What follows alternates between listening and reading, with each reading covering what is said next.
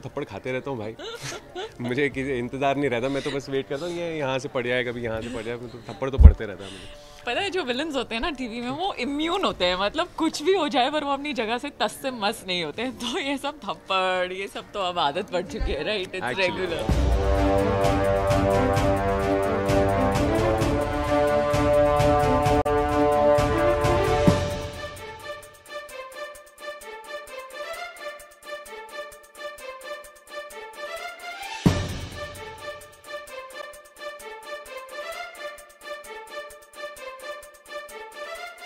अब आप सोचिए कि ये नगीना ही है। मतलब अब जब ये राज खुलने वाला है ना तो पूरा व्यास मैंशन एकदम हिल जाने वाला है। और सबके वो क्या कहते हैं तलवे से ज़मीन एकदम हिल जाने वाली है। तो ये बड़ा सा हाँ रहस्य ही है। ऑलमोस्ट नगीना ही है ये। तो फिर बहुत बड़ा चेंज आने वाला है। बहुत बड़ा बहुत चेंज पूरा हिला के रख देंगे व्यास खानदान को हम।